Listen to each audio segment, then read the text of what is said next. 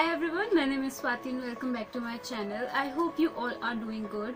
So I am going to review my eyeshadow palette as you guys already know after seeing my thumbnail. Yes, I am going to review this eyeshadow palette from Makeup Revolution. If you guys are following me on my Instagram then you must know I have been created so many eye looks using this palette. So we will talk about its price, its shelf life, its pigmentation, its formulation. So if you guys are interested then you should definitely keep on watching but before that please don't forget to subscribe to my channel and also don't forget to hit that notification bell right next to the subscribe button so you guys can notified every single time I upload. So without any further delay let's quickly jump into the video. Alright so I was talking about this eyeshadow palette. This is from Makeup Revolution in London Temi X. Why this is Temi X? Makeup Revolution is a British based brand and Temi Clark is a British based YouTuber and a makeup influencer. So this palette is a second collaboration between Makeup Revolution and Temi Clark.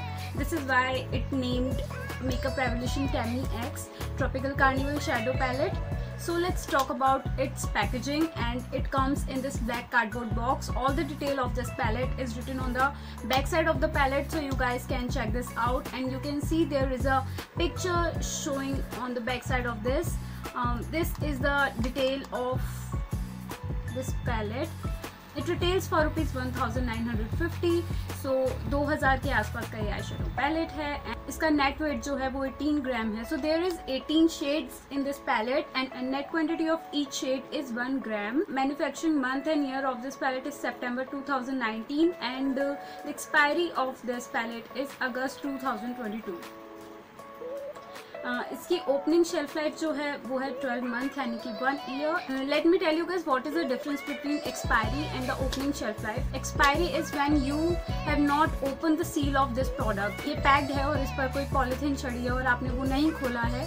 तो this is called its expiry कि वो palette या वो product जो है, वो उस date तक आपका यूज़ हो सकता है. और ओपनिंग शेल्फ लाइफ इज़ जैसे कि मैं इसको खोल चुकी हूँ तो मेरे खोलने की डेट से लेकर ये 12 मंथ्स तक इसकी इसकी ओपनिंग शेल्फ लाइफ रहेगी।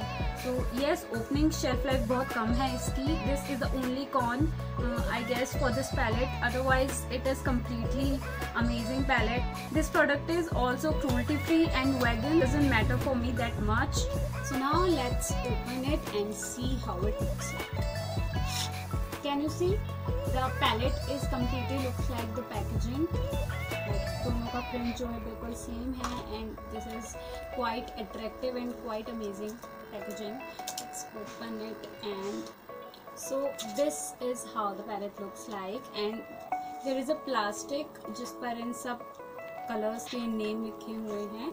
This is how it looks like it has a very big mirror in it you can see this and these are the shades आप देख सकते हो कितनी कलरफुल और ब्राइट शेड्स हैं और यहाँ पे सारे कलर्स पर कुछ ना कुछ स्क्रैचेस हैं बिकॉज़ मैं इनको पहले यूज़ कर चुकी हूँ। इसमें seven metallic kind of shimmery shades हैं।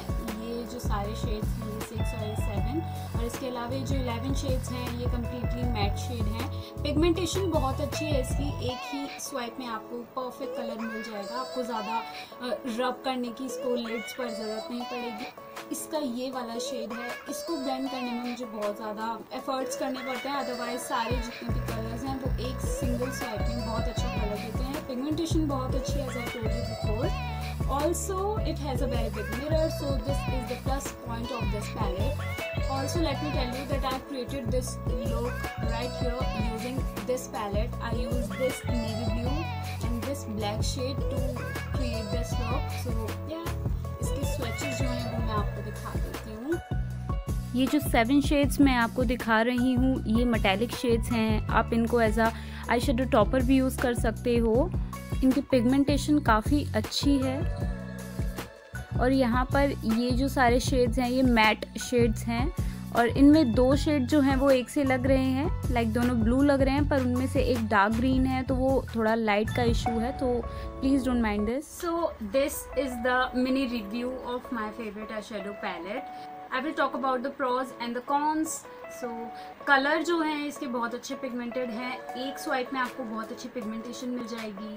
The second thing is if you love pop of colours then you should definitely go for this the third one is that this product is completely cruelty free and vegan and the fourth one is that this palette has a big beautiful mirror if you are a makeup lover like me then you should know the difference between a palette with mirror or without mirror. First con for me is the opening shelf life. Yes 12 month is a very short time of period. If i am paying 2000 rupees for a palette and it only uh, work for me for one year then this is not gonna work for me.